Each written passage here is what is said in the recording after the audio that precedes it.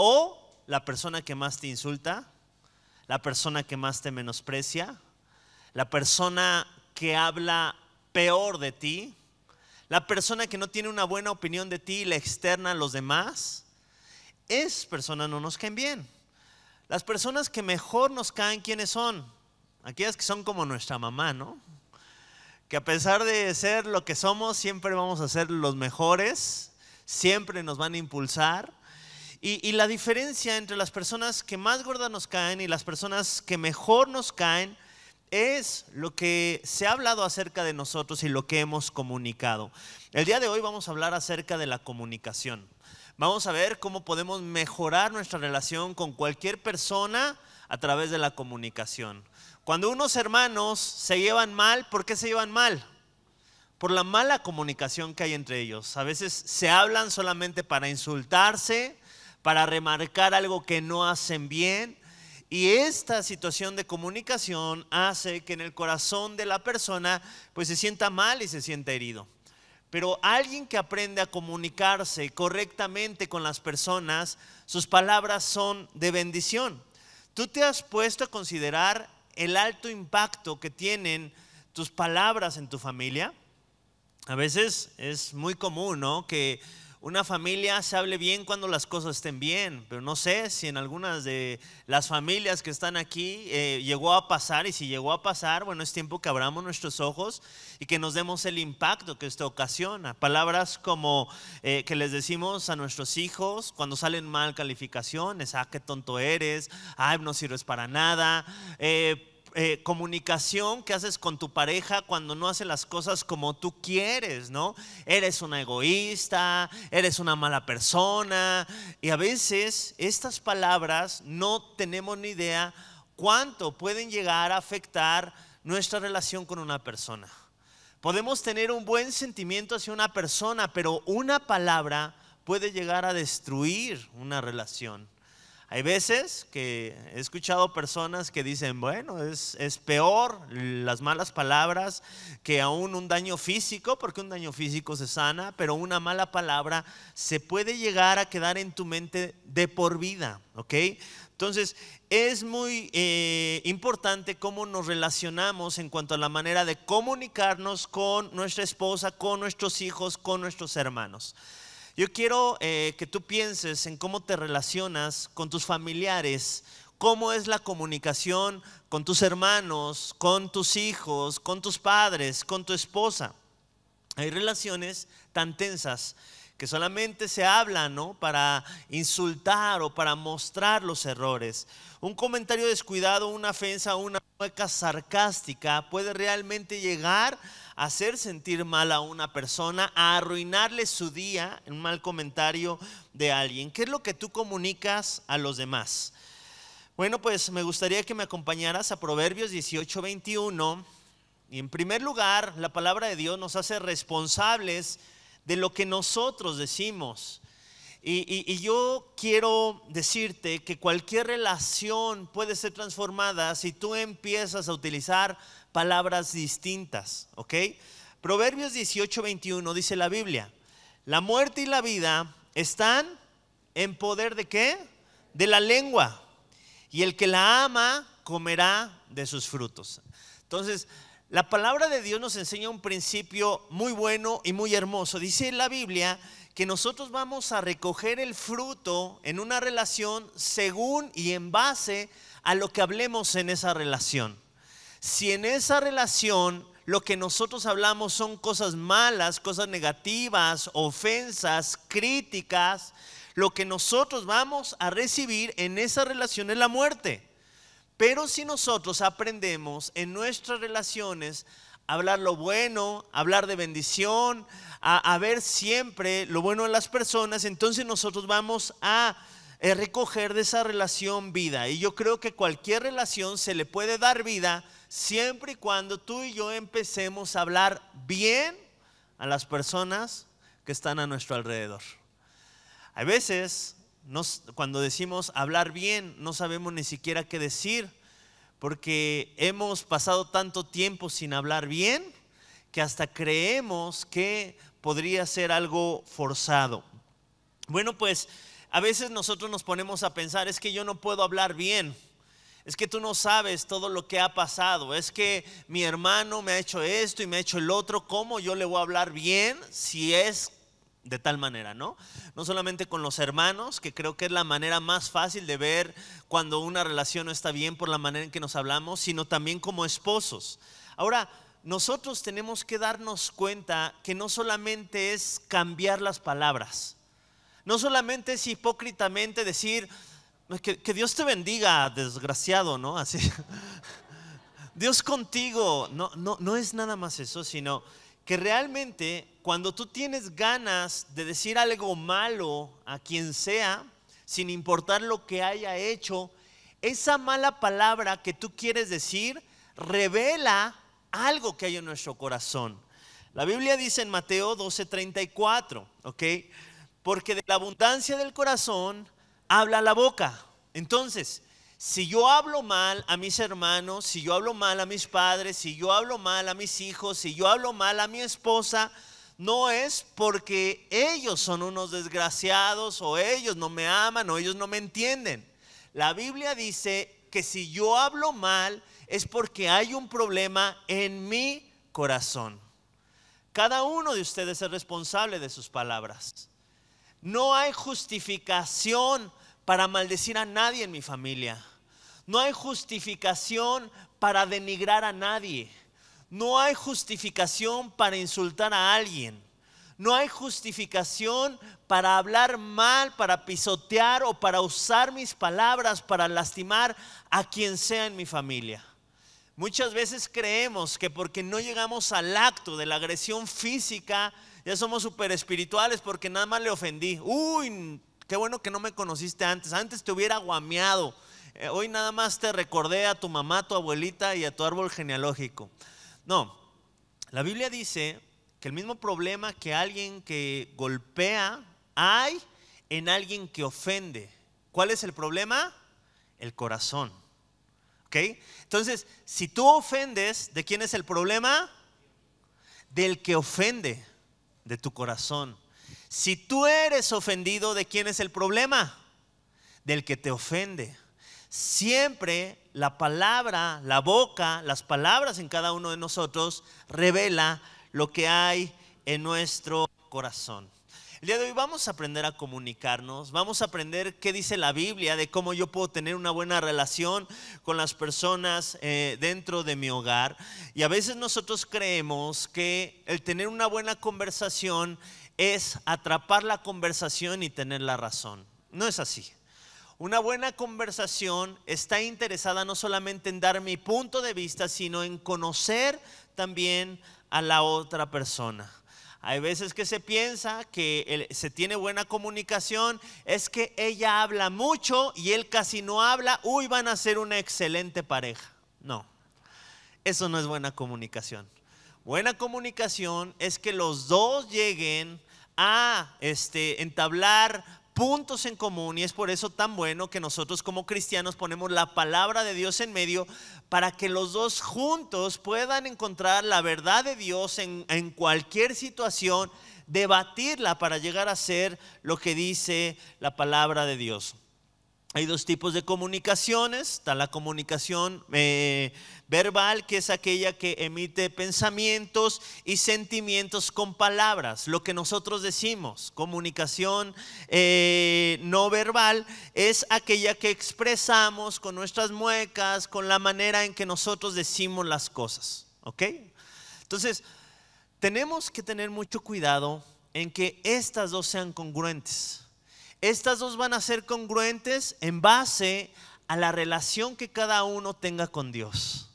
Primer fruto, el más grande de todos, de hecho, cuando hablamos de los frutos de Gálatas, realmente no son los frutos, es el fruto, ¿no?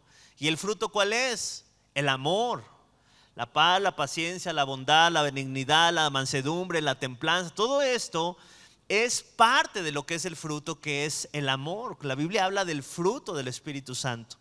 Nosotros, cuando tenemos el fruto, que es el amor, vamos a poder comunicarnos correctamente con las personas porque nuestro corazón va a estar bien. Entonces no es solamente ocultar realmente mis sentimientos, ¿no? Y decir cosas que no siento, sino realmente es tomar la responsabilidad de buscar al Señor de tal manera que lo que salga dentro de mí sean cosas buenas. No es ser un pecador frustrado, alguien que le gusta insultar y que está frustrado por no decir lo que piensa, no. Es alguien que busca ser transformado y que busca eh, cada situación que pasa en su familia para mostrar el fruto que él tiene en, este, en su vida, que es su relación con Dios. Ahora, ¿cómo puedo comunicar de tal manera que agrade a Dios? ¿Cómo cada uno de nosotros vamos a comunicarnos de una manera que agrade a Dios? Creo que siempre nuestro modelo a seguir es Cristo, ¿no? Sería bueno preguntarnos, ¿esto lo diría Jesús? ¿Esto que yo le quiero decir a mi esposa, a mi hermano, lo diría Jesús? Alguna vez yo abro la Biblia y veo este, que Jesús me dice, eres un idiota bueno para nada, no sirves para nada, eres un mediocre, etcétera, etcétera, todas las palabras que a veces decimos sin pensar. Creo que es el primer buen filtro.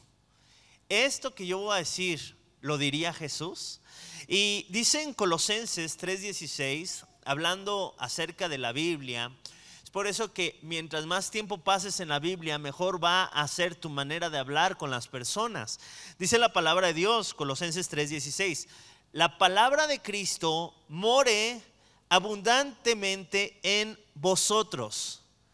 Las palabras de Cristo o la Biblia more abundantemente en vosotros y se enseñen y exhorten unos a otros en toda sabiduría cantando con gracia en vuestros corazones al Señor con salmos e himnos y cánticos espirituales, y todo lo que hacéis, sea de palabra o de hecho, hacerlo todo en el nombre del Señor Jesús, dando gracias a Dios Padre por medio de Él. Entonces, lo primero que yo tengo que buscar en una comunicación efectiva es que la palabra de Cristo more abundantemente en mí, de tal manera que las palabras que yo recibo de gracia de parte de Dios, las pueda dar a las personas. Esto es algo hermoso cuando lo entendemos. Cuando nosotros lo entendemos, entendemos la responsabilidad también de pasar tiempo en las, eh, en las escrituras. Cuando yo paso tiempo en las escrituras, estoy almacenando palabras en mi corazón para que en el momento de la dificultad o en el momento de la conversación, lo que va a salir de mí que es palabra de Dios, ¿no? Si tú acabas de leer la palabra de Dios, pasa media hora leyendo y va a venir un problema y no vas a, a contestar según la carne. Si tú estás en la palabra de Dios, no te van a venir pensamientos de, separación, de división, de que el otro es menos, sino todo lo contrario, ¿no? En la honra que tú le mereces a tu, matrimonio, la honra que tú le mereces a tus hijos, la gran responsabilidad que tienes como padres. Pero si tú permaneces en la palabra de Dios, todo tu panorama va a cambiar. La buena comunicación entre personas tiene tres características básicas. Espero tengan dónde anotar. La primera, calor. Transmite aceptación y cortesía. Número dos, autenticidad. No tener motivos escondidos. ¿Ok? Siempre hay que pasar nuestra comunicación a través de esto. Eh, lo que yo voy a decir edifica a la persona. Lo que yo voy a decir lo digo porque quiero sacar algún provecho, porque a veces hay personas así, ¿no? Empiezan a hablar bonito. les digo un secreto familiar acá entre nosotros. A veces se acerca a mi hijo, el grande, y me empieza a decir, ay papito hermoso, cuánto te quiero, papito. Ya sé, quiere mi celular. Pero ¿sabes algo? No le digo, sácate para allá, niño interesado, solamente quieres mi celular. Le empecé a decir, yo también lo abrazo, lo beso, disfruto el momento. Y a veces nada más veo que está en la mesa ahí agarrando mi celular y todo eso. Pero hay veces que se usan palabras bonitas, ¿no? Para, para algún propósito. Ahora, ¿qué tenemos que hacer con eso? No sacarlo en evidencia. Ay, convenenciero, nada más me hablas bonito porque de seguro quieres unos besos. No. Intenta también dar cosas bonitas. Intenta aprovechar ese tiempo, pero tú no intentes nada más hablar bien a tu pareja cuando quieres sacar algún provecho. Busca hablar bien en todo momento desde que te levantas. Mi amor, qué bonita te ves. Tus hijos, tus hijos son los más inteligentes, los más bellos, los más hermosos. Tu, esposa es la mejor, tu casa es la mejor, tu familia, tu perro, tu perro es el, el mejor. No importa que se hizo caca, ¿no? Ahí en, en tu zapato.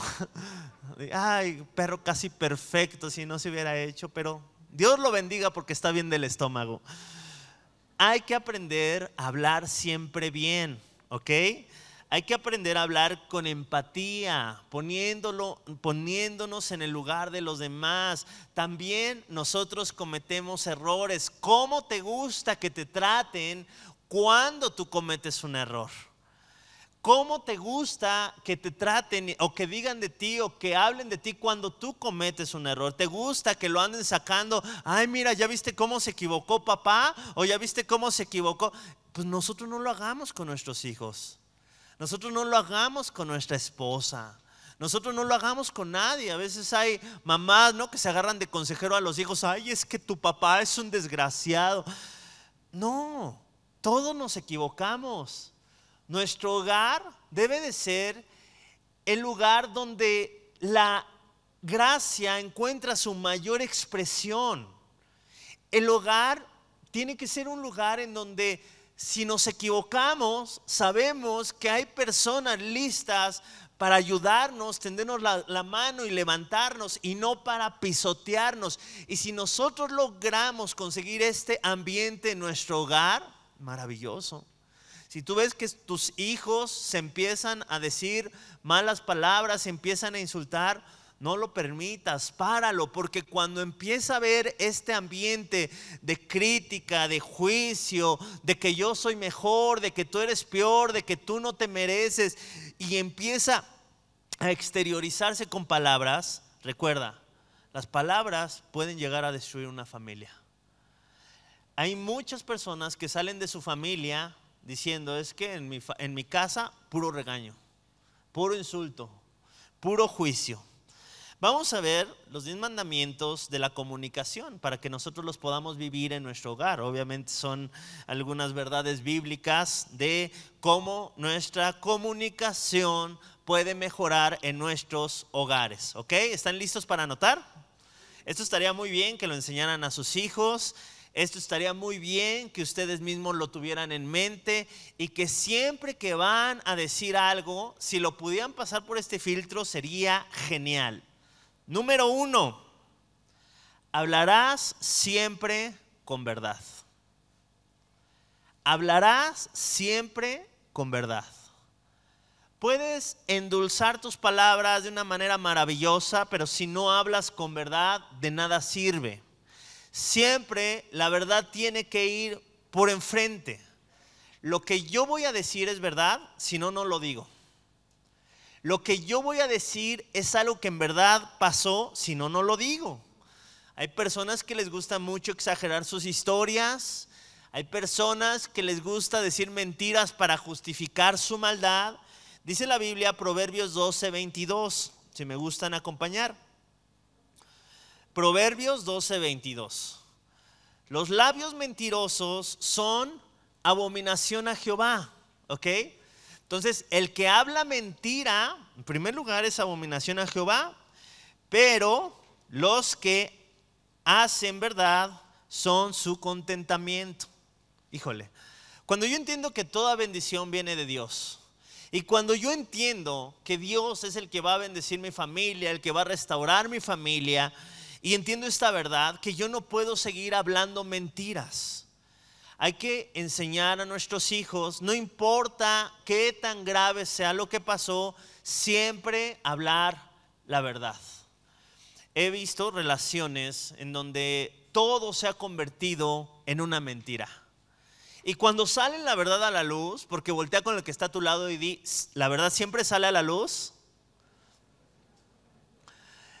Y cuando sale la verdad a la luz, le dicen, oye, ¿por qué no lo habías dicho antes? Ay, es que creía que te ibas a enojar. ¿Cuántos han escuchado cosas así? No asientes ni nada. Ya sabemos que todos. Bueno, pues no nada más agregas lo que estuvo mal, sino que ahora agregas que no te tienen confianza porque bajo presión puedes mentir. Nunca. Nunca, a mí me encanta, ¿no? Así como a veces vienen mis hijos y, me preguntan cosas y me, dicen ellos, es que yo sé que pase lo que pase, me guste o no me guste, siempre me vas a decir la verdad. Mis hijos crecen seguros con lo que yo les digo porque saben que siempre busco decir la verdad, aunque a veces incomode, aunque a veces no le guste a, alguien, siempre tenemos que hablar con verdad. Y esto es maravilloso. Maravilloso cuando tú como papá hablas con verdad a tus hijos. Es maravilloso cuando tus hijos hablan en verdad entre ellos cuando tus hijos te dicen a ti la verdad. Siempre en nuestras conversaciones hay que buscar que la verdad predomine. Siempre que tú veas que alguien no esté diciendo la verdad, exhórtale, apártale y dile, no está bien lo que estás haciendo. Lo que tú dijiste es una mentira. Estás exagerando las cosas, pero a veces como, como nosotros también mentimos, entonces mejor no decimos nada, ¿no? Ah, bueno, que él miente. Yo a veces miento. Yo no digo que miente, pues que tampoco diga que miento. Los labios mentirosos son abominación a Jehová. Hay que hablar con verdad. Número dos, Salmo 19, 14. Primer mandamiento de la comunicación, hablará siempre con la verdad. Segundo mandamiento, ¿ok? Siempre utilizarás tus palabras para agradar a Dios. Escucha muy bien. Ahorita es muy valorado, ¿no? De, ay, siempre dice lo que piensa, como si eso fuera una virtud. Muchas veces, si nuestros pensamientos no son buenos, el llegar a ofender a alguien para desahogarte es incorrecto. Siempre tenemos que usar nuestras palabras para agradar a quién? A Dios. Dice la Biblia, Salmo 19, 14. Sean gratos los dichos de mi boca y la meditación de mi corazón. ¿Delante de quién? Delante de ti, oh Jehová. Cuando nosotros nos ponemos a analizar lo que yo le digo a mi esposa, lo que yo le digo a mis hijos es grato a Dios, entonces vamos a ir poco a poco purificando nuestras conversaciones. Hay conversaciones que no agradan a Dios. ¿El chisme agrada a Dios? No agrada a Dios. ¿El chisme entre pareja agrada a Dios? No agrada a Dios. ¿El chisme entre tus hijos agrada a Dios? No agrada a Dios. A veces, ¿no? Cuando están así diciéndose cosas en el oído. Espero no estén diciendo nada que, que desagrade a Dios. Siempre hay que decir, siempre el punto de nuestras conversaciones no es sentirnos bien, no es desahogarnos, no es mostrar nuestra incomodidad, porque puedes aún mostrar tu incomodidad con palabras que agradan a Dios. Este es el reto. Empezar a hablar inteligentemente. ¿De qué manera yo le digo a una persona que me siento incómodo con lo que está haciendo, con lo que está pasando, y al mismo tiempo seguir agradando a Dios? Entonces, tu manera de decir las cosas y de pedir las cosas va a ser muy diferente. Mandamiento número uno, hablarás siempre con la verdad. Mandamiento número dos, siempre utilizarás tus palabras para agradar a Dios. ¿Ok? Mandamiento número tres, cuidarás que tus palabras siempre den vida al oyente. ¿Ok? Siempre vamos a dar vida. cuando estudiaba mercadotecnia, se nos enseñaba, ¿no? Se, hacía un análisis FODA y las debilidades de una empresa nosotros la, veíamos como una oportunidad, ¿no? Como posibles oportunidades para después seguir creciendo. Entonces, qué padre si tú ves alguna debilidad en alguien de tu familia, que le digas, mira, aquí hay una área en la que tú puedes crecer. Me encanta utilizar el ejemplo del apóstol Pablo que decía, cuanto más débil soy, más fuerte soy. ¿Por qué? Porque Dios se glorifica en mis debilidades. Qué padre decirle a tus hijos, sabes que mira, aquí hay una área en la cual si tú se lo permites a Dios, Él se puede glorificar. Que siempre si nosotros vemos que alguien no es como a nosotros nos gustaría, lo veamos como una oportunidad, no para pisotearlo, no para sentirnos mejor, sino para darle vida. ¿De qué manera con mis palabras yo puedo fortalecer esto? ¿Ok? Dice la palabra de Dios, Proverbios 18, 21. La muerte y la vida están en el poder de la lengua. Y el que la ama comerá de sus frutos. Qué hermoso que nosotros siempre podamos dar vida con nuestra boca que cuando nuestros hijos lleguen de un día a lo mejor en donde en sus escuelas alguien les dijo algo malo, ¿no? Imagínate este impacto. Llega tu hija, a lo mejor recibió bullying en la escuela, eres una tonta, eres una mensa, estás bien fea, etcétera. No sé lo que haya pasado. Y de repente que te vea a ti como papá y que lo primero que le digas es, mi amor, eres la más hermosa, te ves preciosa, te amo mucho. ¡Wow! Qué hermoso que siempre en nuestra casa tú seas ese manantial de bendición.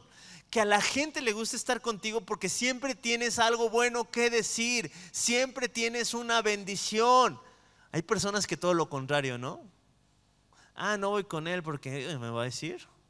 No, pues ya, ya para qué, ya perdí.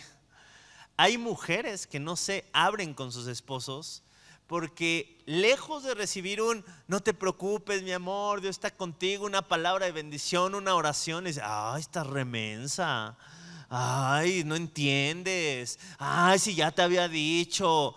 Ah, seamos esas fuentes de bendición para todos los miembros de nuestra familia. Seamos personas que escogen dar vida a través de su palabra. Primer mandamiento, ¿cuál es? Segundo mandamiento. Tercer mandamiento. muy bien. Cuarto mandamiento, ¿ok? Procurarás que tus palabras den ánimo a los demás, ¿ok? Sí, vamos a ser esos coaches. Vamos a buscar ser esas personas que cuando esté alguien deprimido, cuando esté alguien triste, no vas a llegar, ya ves, te lo dije, algo has de andar haciendo, ¿no? Como los amigos de Job, que tenían las respuestas para decir por qué su amigo estaba tan mal. Dice en Primera de Tesalonicenses 5:11, por lo cual, animaos unos a otros, ¿ok? A ver, tu tarea con la persona que está a tu lado es animarla o desanimarla. Haz de cuenta, hace algo indebido. Y, a veces hablamos palabras de desanimar, ¿no? Así de, ¿y para eso vas a la iglesia? Ah. ¿Eso anima o desanima? ¿Qué animaría? Hay que seguir yendo a la iglesia, Dios está haciendo algo, ¿no? No sé. Sigue adelante, he visto estos cambios en ti. Ah, wow, vi que a lo mejor oraste hoy en la comida. Qué padre que, nació de tu corazón, qué hermoso. Y a veces hay, a, eh, veces nos enfocamos más en todo lo malo que en lo bueno. Y, la Biblia dice que nosotros debemos de animarnos, aun cuando nuestra pareja, cuando nuestros hijos, cuando la gente de nuestro alrededor esté haciendo algo que nos incomode. ¿Cómo Dios actúa con nosotros en cuanto a nuestra lucha con el pecado, en cuanto a nuestras deficiencias? A mí me encanta, ¿no? El libro de Apocalipsis. Dice, ah, hiciste esto, hiciste el otro, viene la confrontación, pero después dice, al que venciere, y le da una promesa increíble. Nos da ánimo para que nosotros que estamos aquí busquemos estar acá no nos mete el pie, ¿no? Sino que nos anima. Mira, vale la pena vivir para Dios, vale la pena no ser hipócrita, vale la pena porque viene esto y entonces te anima. Dice 1 Tesalonicenses 5:11, por lo cual animaos unos a otros y edificaos unos a otros, así como lo hacéis. A ver, quiero que analices de qué manera tú estás animando a las personas con las que vives seguramente ya se te vino su área débil de ellos. ¿De qué manera estás usando eso para animarle a seguir adelante? ¿De qué manera lo que tú hablas con la gente de tu casa es de edificación? No es que no es cristiana o no es cristiano. Pues con mayor razón. Anímale, ¿no? Anímale a buscar del Señor. Dale palabras de edificación. Bendice a las personas. ¿Ok? Por lo cual, dice la Biblia, animaos unos a otros y edificaos unos a otros, así como lo hacéis. ¿Cuál es el cuarto mandamiento de la comunicación? Muy bien. Quinto mandamiento de la comunicación. Harás que tus palabras siempre sean transmitidas con gracia. ¿Qué significa con gracia? No significa que te vas a ir a buscar varios chistes de Pepito para hablar. Sino significa, a mí me gusta esto de la gracia, porque la gracia es un regalo inmerecido.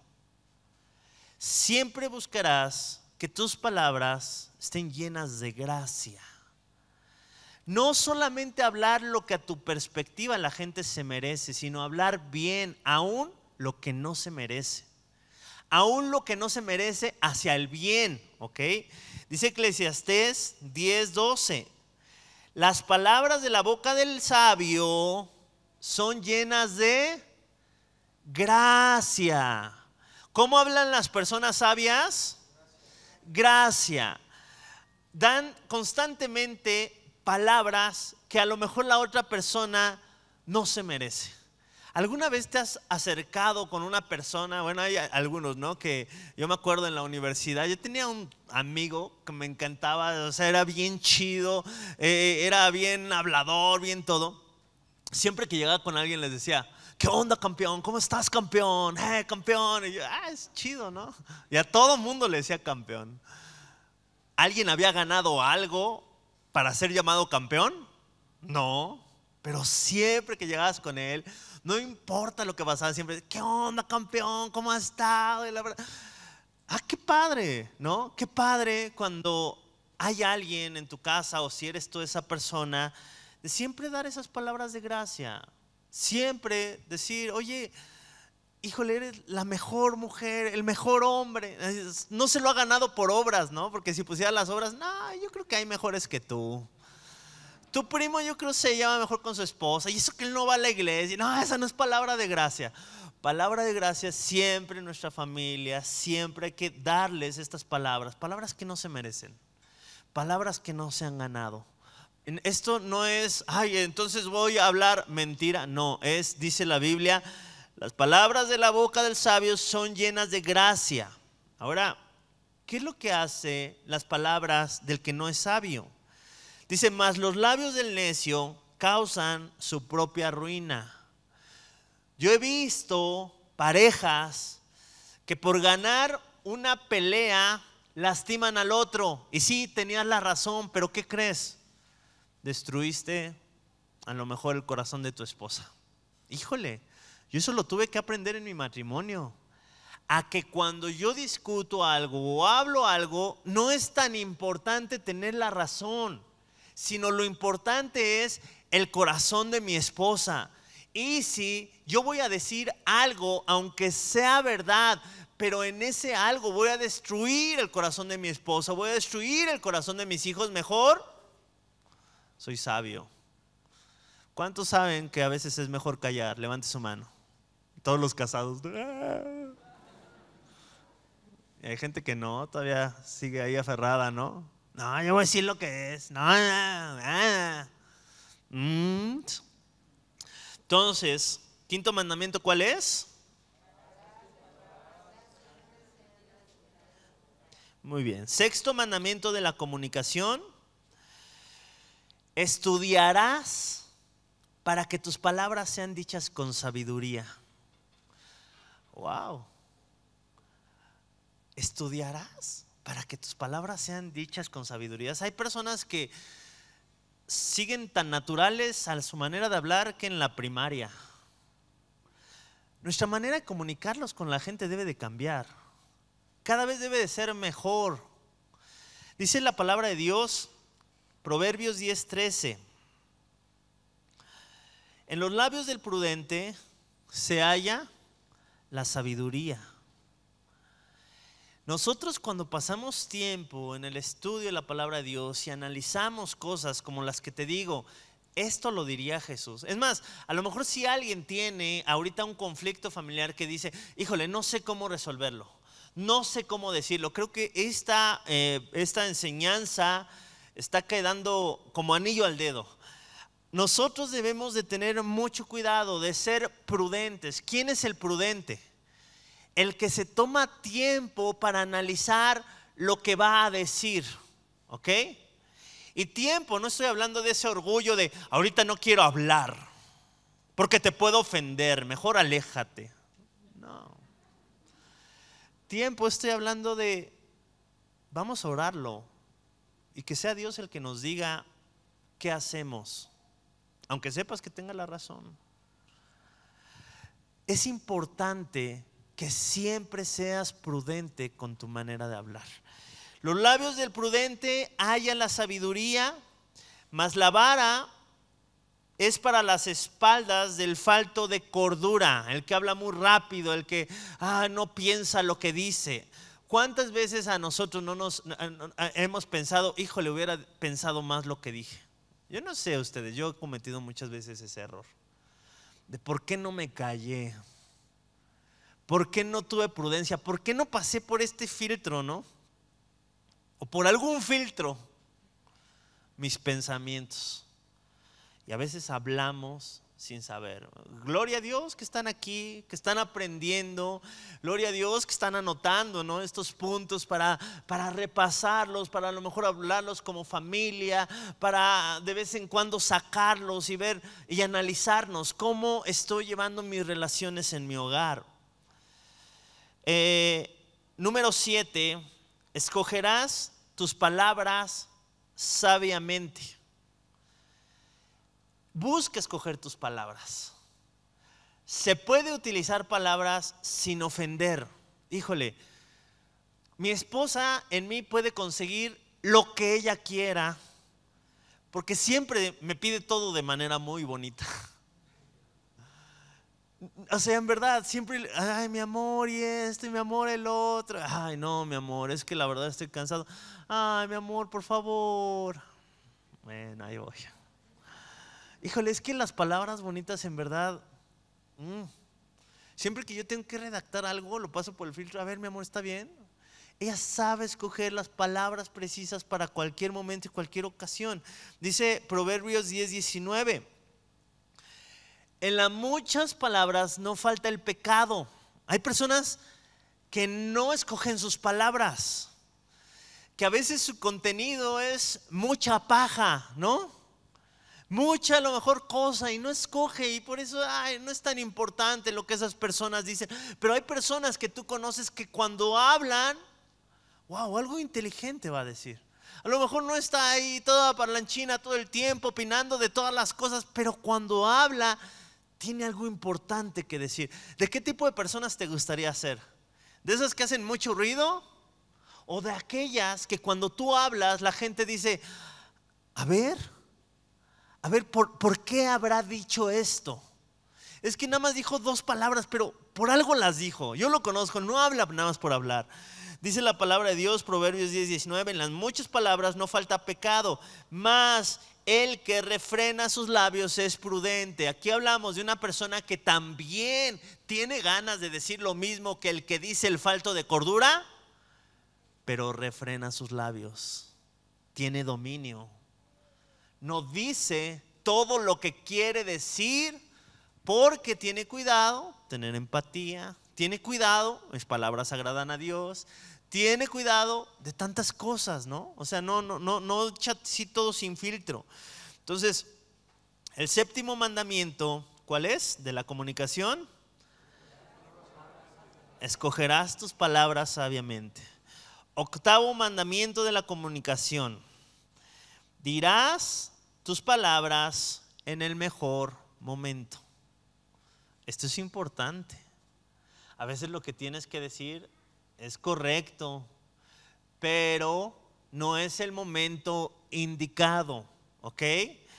Es importante nosotros encontrar los mejores momentos. Proverbios 15:23.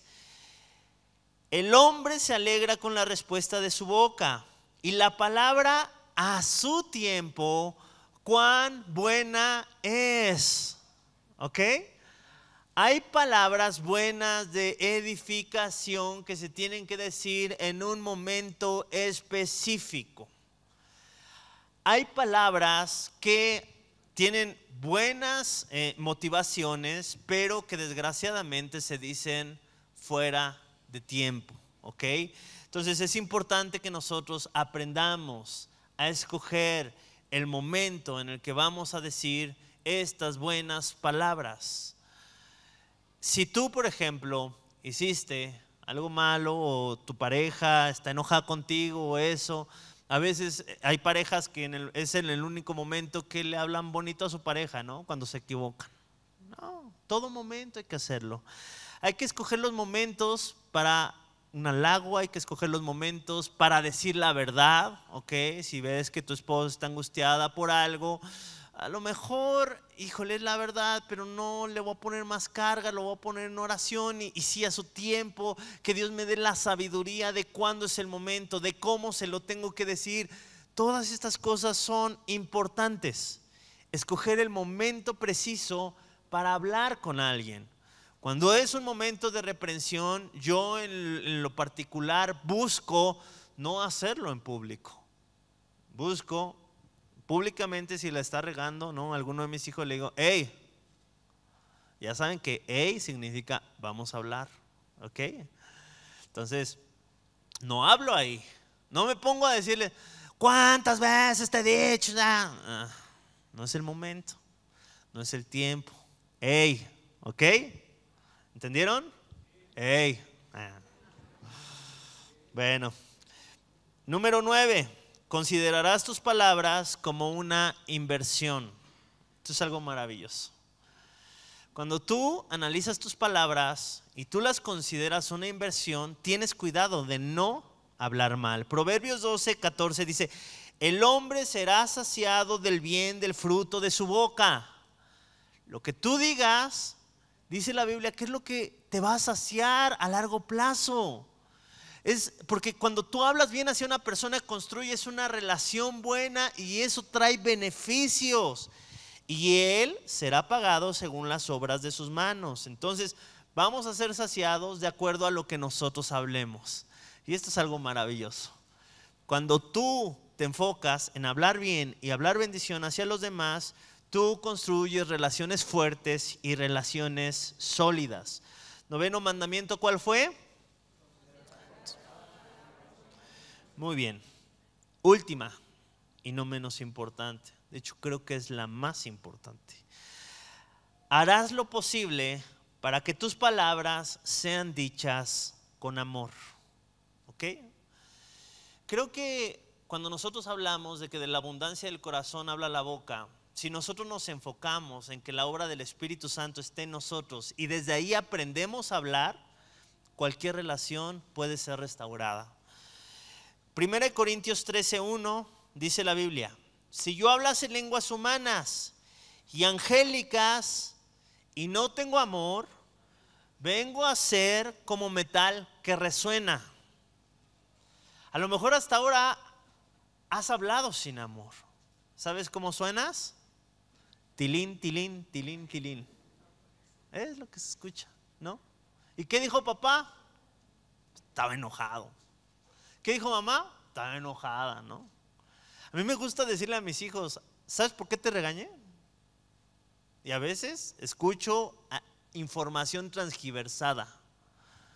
Y es mi oportunidad de decirle, no, te corrijo porque te amo. Y yo quiero que te vaya bien. Y esto dice la Biblia. Y esto es lo que le agrada a Dios. Y si tú haces lo que le agrada a Dios, te va a ir bien. Va a llegar el tiempo donde no estés conmigo. Y vas a hablar, vas a hacer lo que quieras pero yo quiero que te vaya bien, es porque te amo.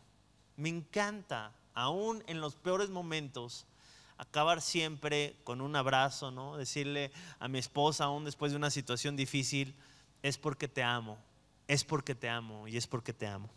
Entonces, si nosotros buscamos practicar estos diez mandamientos junto con la enseñanza del día de hoy, créeme, cualquier familia se puede rescatar. Cualquier matrimonio se puede rescatar. Cualquier relación rota con cualquiera de tus hijos se puede rescatar. Me gustaría el día de hoy que hiciéramos un análisis y que oráramos por quizá aquellas relaciones rotas que a lo mejor no hemos sabido hablar bien, hablar correctamente. A lo mejor estás recogiendo el fruto de tus palabras del pasado hacia tu pareja o hacia tus hijos. Y a lo mejor hay relaciones rotas que solamente Dios, ¿no? Y con estos este, consejos bíblicos que Él nos ha dado, pues vamos a poder restaurar. ¿Por qué no nos ponemos de pie?